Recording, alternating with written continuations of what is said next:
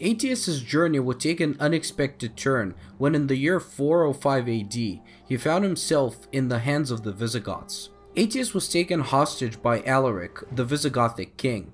During this time, it was a common practice for barbarian tribes to keep members of prominent Roman families hostage, so as to gain political leverage. This is how Aetius ended up in the court of King Alaric. As a hostage, Aetius was exposed to the customs, strategies, and military practices of the Visigoths. He seized this opportunity to learn from his captors, gaining valuable insights into the tactics and strengths of the Visigothic warriors. He spent three years among the Visigoths until the death of Alaric, after which he was taken hostage by the Huns, until his eventual release in 423 AD, after the death of Emperor Honorius.